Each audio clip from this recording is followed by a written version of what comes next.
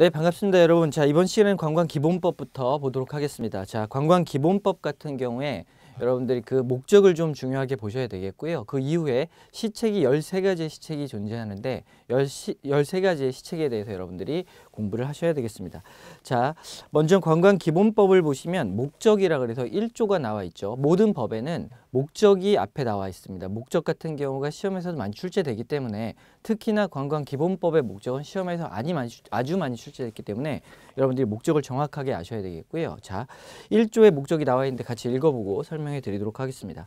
이 법은 관광진흥의 방향과 시책에 관한 시, 사항을 규정함으로써 국제 친선을 증진하고 국민 경제와 국민 복지를 향상시키며 건전한 국민 관광의 발전을 도모하는 것을 의미한다 이렇게 나와 있습니다. 목적으로 한다 이렇게 나와 있는데 여러분들 여기서 중요한 거 어, 법이라는 거는 기본적으로 어, 많은 사람들이 어렵게 생각하는 경향이 있습니다. 하지만 법은 용어만 정확하게 이해하고 있으면 크게 어려운 내용은 아니고 법이라는 게 결국에는 어떤 사회적인 그 약속을 문서화시켜 놓은 거기 때문에 그 용어만 정확하게 파악하면 여러분들이 어렵지 않다라고 보시면 되겠습니다. 다시 한번 읽어보시면 관광진흥의 방향이라고 얘기했는데 진흥이란 뜻 같은 경우는 자 떨치어 일어난다라는 뜻을 갖고 있다라고 보시면 됩니다. 그래서 관광이 뭐 떨치어서 일어나게 하는 그 목적을 갖고 있고요. 자그 다음에 방향과 시책 아까 말씀드린 것처럼 정책 그러니까 어, 관광진흥의 방향과 시책에 관한 사항을 규정해 놨다라는 거 여러분들 아셔야 되겠고 자 두 번째는 국제 친선 그러니까 국가 간에 서로 친밀해서 사이가 좋아지게 하는 목적을 담고 있다라고 보셔야 되겠습니다. 자, 그다음 친선을 증진하고 국민 경제와 국민 복지를 향상시킨다. 자, 그 다음에 건전한 국민 관광의 발전을 도모하는 것이다. 이렇게 나와 있습니다. 네 가지가 나와 있는데 다시 한번 말씀드릴게요. 어, 관광기본법의 목적은 첫 번째 관광진흥의 방향과 시체에 관한 사항을 규정하고 있다. 첫 번째가 되겠고 두 번째는 자 국제 친선을 증진하고 그 다음에 국민 경제와 국민 복지를 향상시키고 마지막으로 건전한 국민 관광의 발전을 도모하기 위해서 이 법을 만들었다. 네 가지 목적 반드시 외우셔야 되겠습니다. 자, 그 다음에 두 번째 2조에 나와 있는데요. 자, 정부의 시책 이렇게 나와 있고 시책은 정책 이렇게 말씀드렸습니다. 자, 정부는 이 법의 목적, 그러니까 네 가지의 목적을 달성하기 위해서 자, 관광 진흥에 관한 아주 기본적이고 그 다음에 종합적인 시책을 강구하여야 한다 이렇게 나와 있습니다. 자, 그래서 지금 밑에 3조부터 쭉 뒤에까지 나와 있는 시책을 여러분들이 반드시 외우셔야 되겠습니다.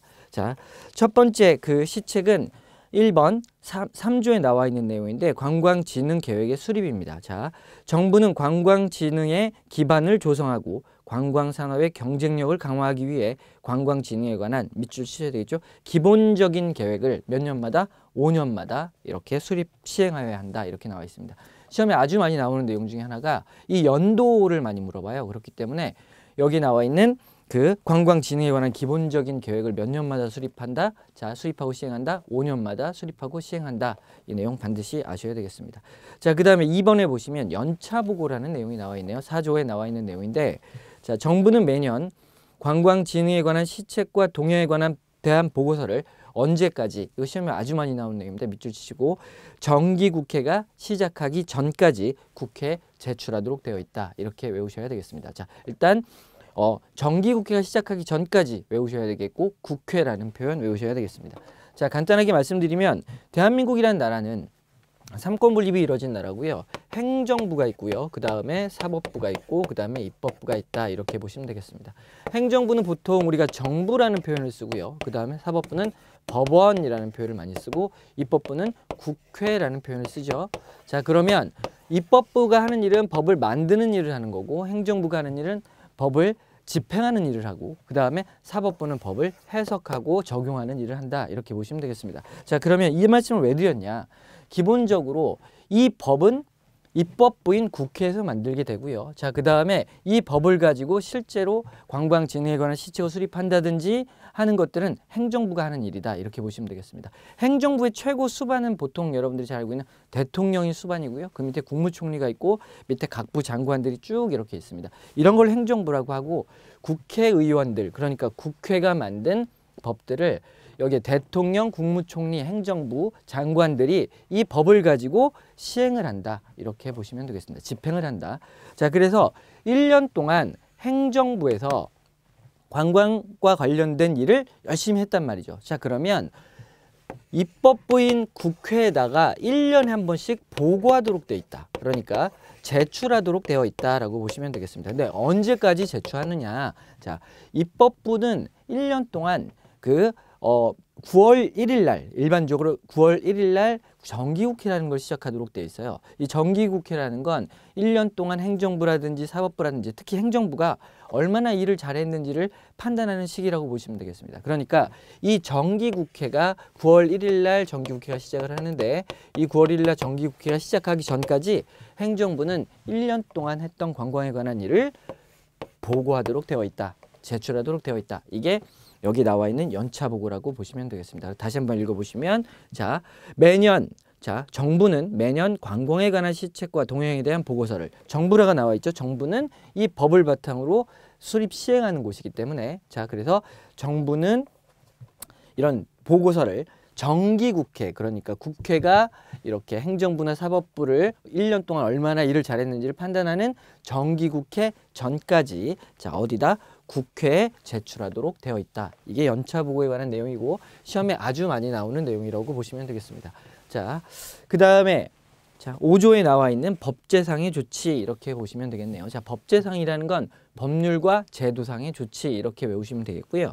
자, 국가는 제2조에 따른 시책을 실시하기 위해 자, 어, 법제상, 재정상 조치와 그 밖에 필요한 행정상의 조치를 강구하여야 한다 이렇게 나와 있습니다. 그래서 중요한 거 국가는 이라는 표현 외우셔야 되겠고 국가는 법제상, 재정상의 조치와 그 밖에 필요한 행정상의 조치를 강구하도록 하여야 한다라고 5조에 나와 있습니다. 여기서 시험에 아주 많이 나오는 내용은 국가가 시험에 많이 나온다 이렇게 보시면 되겠습니다. 자, 제가 국가가 많이 나온다라고 얘기하는 건 1, 위에 봤던 3조와 4조, 4조 한번 보세요. 그러니까 1번과 2번 관광진흥계획의 수립, 그다음에 연차 보고 이거는 주어가 정부인데 여기 나와 있는 법제상의 조치는 주어가 국가로 되어 있기 때문에 이게 시험에 아주 많이 나오는 내용으로 여러분들이 외우셔야 되겠습니다. 자, 그 다음에 4번 6조의 내용인데 지방자치단체 협조입니다. 이건 또 주어가 어떻게 돼요? 자, 지방자치단체 이렇게 나와 있죠. 그래서 이것도 또 따로 외우셔야 되는 내용입니다. 자, 그래서 지방자치단체는 관광에 관한 국가 시책에 필요한 사항을 강구하여야 한다 이렇게 나와 있습니다. 자, 이 강구한다라는 표현은요. 여기 나와 있는 어떤 방법을 서로 연구하고 같이 만들어 간다 이렇게 외우시면 되겠습니다. 그래서 여기 나와 있는 3번, 4번 그러니까 제 법으로 따지면 5조와 6조에 나와 있는 주어가 시험에 많이 나오기 때문에 자 여기 나와 있는 그 연차 어, 법제상의 조치는 국가가 그 다음에 지방자치단체가 이런 국가 시책에 필요한 시책에 협조해야 한다는 내용까지 주어 두 개 외우셔야 되겠습니다. 자, 그 다음에 5번 보시면 외국 관광객의 유치 7조에 나와 있는 내용인데요. 자, 이것도 주어는 마찬가지로 뭐예요? 정부죠. 그렇죠? 대부분 다 정부예요. 보시는 것처럼 하지만 아까 배웠던 국가와 지방자치단체 그것만 특이하니까 외우시고 자 그 다음에 정부는 외국 관광객의 유치를 촉진하기 위해 외국 관광객의 유치를 조금 더 이렇게 많게 잘 이렇게 어, 이루기 위해서 첫 번째 해외 홍보를 강화해야 됩니다. 자 이해하셨죠? 국내 홍보를 하는 게 아니라 해외 홍보를 하는 거예요. 당연하죠. 외국인 관광객 유치하기 위해서 예를 들어서 미국 타임스퀘어에 우리나라에 관한 어떤 그 홍보 자료를 이렇게 스크린에 띄운다든지 이런 식으로 해서 자 해외 홍보를 강화하고요. 자 두 번째 출입국 절차를 개선해야 되겠습니다. 자 우리나라에 입국하는데 어, 입국하는데 막 세시간씩 기다려요. 막 출국하는데 막 네시간씩 기다려요. 우리나라 안 온단 말이죠. 자, 지금은 아니고 제가 예전에 그 어, 신혼여행을 갔을 때좀 어, 선진국이 아닌 좀 약간은 어, 개발도상국 같은 데를 간 적이 있습니다. 어, 그 나라 같은 경우 갔더니 지, 출입 출입국을 하는데 너무 입국 시간이 긴 거예요. 그때 막 모뎀을 쓰고 있고 지금은 상상도 할 수 없는 일인데 모뎀을 쓰고 한 사람 출입국 그 심사를 하는데 입국 심사를 하는데 걸리는 시간이 막 20분씩 걸리는 거예요. 그래서 저희 비행기 탔던 사람들이 내리는데 뭐 한 몇 시간 정도 걸린 기억이 있습니다. 이렇게 되다 보면 그 나라를 가는 데 있어서 상당히 또, 아, 저 나라 가, 또 가고 싶지 않다는 생각이 들기 때문에 실제로 여기 나와 있는 출국 절차를 개선할 필요도 있다. 그래서 외국 관광의 유치 첫 번째, 자, 해외 홍보를 강화하고 두 번째 출입국 절차를 개선하고 마지막으로 그 밖에 필요한 시책을 강화해 강구하여야 한다. 이렇게 외우시면 되겠습니다. 그래서 세 가지. 첫 번째 해외 홍보 강화, 두 번째 출입국 절차 개선, 세 번째 그 밖에 필요한 시책 강구 이렇게 해서 그 7조에 나와 있는 외국 관광객 유치에 관한 내용을 반드시 외우셔야 되겠습니다. 자, 그 다음에 어, 8조에 나와 있는 내용 관광 여건을 조성한다 이렇게 나와 있습니다. 조성이란 뜻은 무엇을 만들어서 이룬다 이렇게 이해하시면 되, 겠습니다 그래서 관광 여건을 만들고 이뤄내는 것을 어, 6, 8조에 담았는데요. 자 여기도 마찬가지로 주어는 정부가 되겠고요. 관광 요건 조성을 위해 관광객이 자 이용할 숙박이라든지 교통, 그 다음에 휴식시설 등의 개선 및 확충, 휴일, 휴가에 대한 자, 제도 개선 등에 필요한 시책을 마련하여야 한다. 그래서 밑줄 하나 쳐놓으셔야 될 게 휴일 휴가에 대한 제도 개선 이것도 최근에 추가된 내용이기 때문에 여러분들이 외우셔야 되겠습니다. 여기 나와 있는 관광객이 이용할 숙박교통 휴식시설 등의 개선뿐만 아니라 확충 그리고 여기 나와 있는 휴일 휴가에 대한 제도 개선 이런 것들을 통해서 관광 여건을 조성하도록 하고 있다. 이렇게 외우시면 되겠습니다.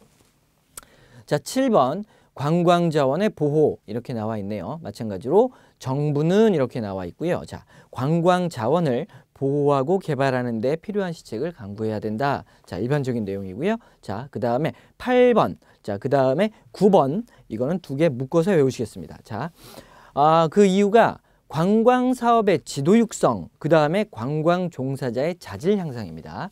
자, 8번은 10조에 나와 있는 관광 사업을 지도하고 육성해야 되겠고 그 다음에 그 9번에 보시면 11조에 관광 종사자의 자질을 향상시킨다 이렇게 나왔습니다. 시험에 가끔 나오는 내용 중에 하나인데 이걸 섞어서 내는 경우가 있어요. 어떻게 되냐면 관광 종사자를 지도하고 육성한다. 틀린 내용입니다. 아셨죠?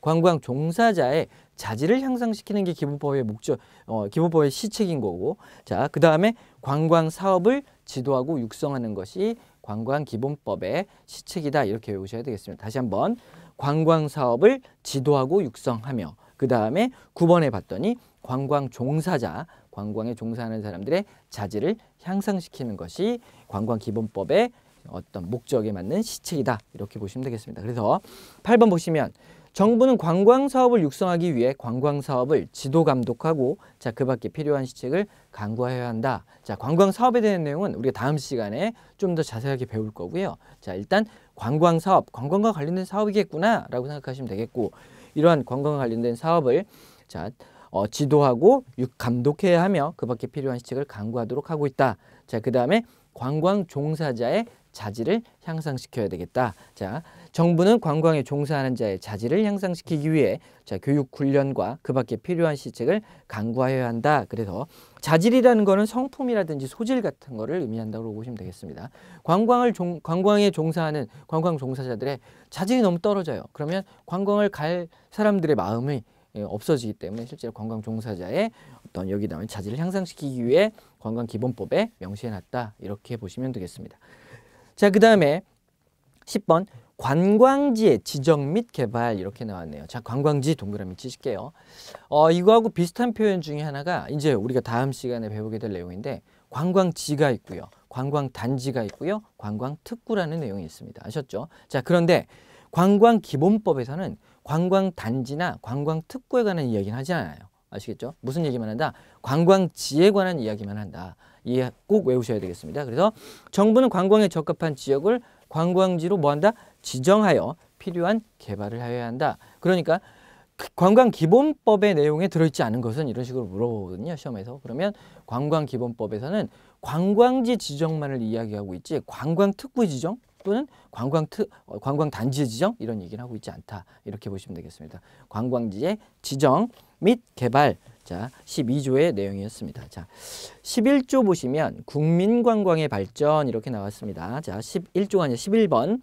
자, 13조의 내용인데요. 자, 마찬가지로 정부고요. 자, 관광에 대한 국민의 이해를 촉구하여 건전한 국민 관광을 발전시키는데 필요한 시책을 강구하여야 한다. 자, 어디다 밑줄 치실까요? 자, 우리 국민 관광 여기다 밑줄 치시면 되겠습니다. 어, 기본법에 국민관광이라는 용어가 들어와 있어요. 아셨죠? 자, 그래서 기본법에서 국민관광이라는 표현을 쓰고 있구나. 자, 그 내용도 아셔야 되겠고 국민관광에 관한 발, 어, 발, 국민 관광을 발전시키는 데 필요한 시책을 강구하여야 한다. 이 내용 외우셔야 되겠습니다. 자, 그 다음에 14조의 내용이고 12번입니다. 자. 정부는 관광 진흥을 위해 관광 진흥 개발 기금을 설치하여야 한다. 이렇게 나왔네요. 자, 일단은 관광 진흥을 위하여까지는 알겠어요. 아시겠죠? 자, 관광을 일으키고 발전시킨다는 내용이죠. 자, 그러면 정부는 관광을 일으키고 발전시키기 위해서 그냥 할 수 없잖아요. 뭐가 필요할까요? 돈이 필요합니다. 아시겠죠? 자, 그래서 이 돈을 모으기 위해서 관광진흥개발기금이라는 걸 설치해서 돈을 모으도록 해놨다. 이렇게 보시면 되겠습니다. 우리가 어, 어, 배우는 내용 중에 관광진흥개발기금법이라는 내용이 있어요. 이 관광진흥개발기금법은 어떻게 돈이 모여지고 어떻게 쓰여지고 어디에 쓰여지는지에 대한 내용을 배우는 건데 자 여기서 기본법에서 이렇게 이야기하고 있습니다. 관광 발전을 위해서 관광을 일으키고 발전시키기 위해서 이런 돈들을 모아야 된다. 관광진흥개발기금을 설치하도록 하여야 한다라고 관광기본법에 그서 이야기하고 있다. 이렇게 외우시면 되겠습니다. 자, 그 다음에 13번 별표 치시죠. 자, 어, 최근에 나왔던 문제고요. 관광진흥의 향, 방향 및 주요 시책에 대한 수립, 조전, 관광진흥의 계획 수립 등에 관한 사항을 심의 조정하기 위해 심의 조정 밑줄 치시면 되겠습니다. 자, 그러니까 앞서 이야기했던 내용을 좀 깊이 의견을 교환하고 조정하기 위하여 자 밑줄 치셔야 되는데 또 누구 어디 소속으로? 국무총리 소속으로. 자 국무총리 소속으로 소속으로 국가관광전략회의를 둔다. 자 국가관광전략회의라는 게 방금 이야기한 것처럼 관광진흥의 방향 및 주요 시책에 대한 수립 조정 그 다음에 관광진흥의 계획 수립 등에 관한 자 뭐예요? 심의 그 다음에 어떤 조정을 하는 곳인데 자 이거는 어디다 설치를 한다 국무총리 산하에 설치한다. 이렇게 외우시면 되겠습니다. 그래서 국무총리 소속으로 국가관광전략회의를 둔다. 이 시험에 많이 나오는 게 자, 국가관광전략회의는 어디 산하 기관이냐 이렇게 물어보는 경우가 있어요. 1번 대통령, 2번 국무총리, 3번 문화체육관광부 장관, 4번 자 특별자치시장. 답은 국무총리 이렇게 외우셔야 되겠습니다. 국무총리 소속으로 국가관광전략회의를 둔다 이렇게 외우셔야 되겠고요. 국가관광전략회의의 구성 및 운영 등에 필요한 사항은 대통령령으로 정하도록 되어 있다. 대통령령 밑줄 치실게요. 자, 근데 여러분들 이거는 어, 어떻게 법의 체계를 알면 뭐 이게 어디에 근거해서 이런 것들이 운영된다는 걸 쉽게 알 수 있단 말이죠. 자, 무슨 얘기냐? 보통 우리나라 행정부 아까 제가 말씀드린 것처럼 행정부의 수반은 대통령이라고 말씀드렸고 자, 그다음에 행정부가 아, 대통령이 뭐 권한이 어떤 거, 자리가 뭐 거리되거나 어디 뭐 딴 데를 가셨을 때 국무총리라는 사람이 자 행정에 관한 일을 같이 하도록 되어 있습니다.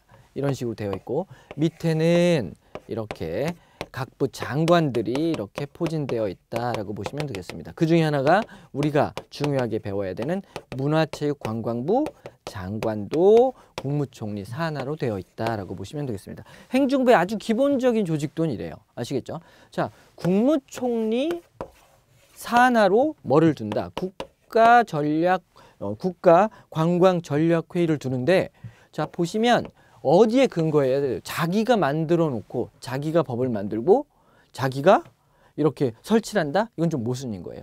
위에서 만들어 놓은 거를 기반으로 자기가 어떤 그 설치를 해야 되기 때문에 기본적으로 국무총리 산하기관으로 국가관광전략회의를 둔다면 대통령이 내리는 명령에 의해서 국무총리 어떤 그 산하기관으로서 여기 국가관광전략회의를 두도록 하고 있다라는 걸 외우시면 되겠습니다. 다시 말하면 이런 거예요. 어떤 문체부 장관의 그 산하 기관으로서 뭐 A라는 기관을 둔단 말이죠. 그러면 국무총리령에 기반해서 둘 거예요. 이해하셨죠? 자, 대통령이 한다라면 대통령, 아 국무총리가 한다라면 대통령령에 기반한다. 이렇게 여러분들 외우셔야 되겠습니다. 그래서 두 가지 여기서 중요한 내용이 말씀드린 것처럼 국가관광전략회의는 자 어, 하는 일도 중요하지만 어디 소속이구나 국무총리 소속이구나라는 거 외우시면 되겠고 자 그 다음에 뭐에 기반해서 대통령령에 기반해서 거기에 국가관광전략회의의 구성 및 운영에 관한 사항을 이렇게 두고 있다 이렇게 외우셔야 되겠습니다. 자 여러분들 그 관광기본법은 시험에 매년 한 문제 뭐 많게는 두 문제까지 출제되는 해도 있습니다. 자, 방금 말씀드렸던 목적 그 다음에 시책 여기서 시험이 계속 출제되고 있기 때문에 여러분들 자 반드시 외우셔야 되겠고요. 이 관광 기본법 내용이 많지 않기 때문에 우선 여기서 멈추고 다음 시간에 이제 조금 진짜 어려운 아 어렵다고 하면 좀 그렇죠. 자 진짜 내용이 많고 아주 중요한 파트인 여기는 관광진흥법에 대해서 배우도록 하겠습니다. 관광진흥법은 보통 해마다 18문제에서 19문제, 뭐 적게는 17문제에서 많게는 19문제까지 출제가 되는데 평균 그러니까 18문제가 출제가 되는데 자, 내용이 많기 때문에 내용이 많기 때문에 문제가 많이 출제되는 것이기도 하고 그 다음에 워낙 또 중요한 곳이기 때문에 출제가 많이 됩니다. 하지만 제가 어렵다고 했지만 어렵다기보다는 법이라는 건 체계예요. 아시겠죠? 그 다음에 용어, 용어의 어떤 완벽한 이해라고 보시면 되겠습니다. 그래서 용어를 완벽하게 이해하고 체계만 잡으면 관광진흥법도 그렇게 어렵지 않게 여러분들이 마스터할 수 있다라고 보시면 되겠습니다. 자, 여러분들 그 1강이었는데요. 관광기본법 어, 고생하셨고요. 다음 시간에 조금 더 힘을 내서 관광진흥법 같이 공부하도록 하겠습니다. 고생하셨습니다.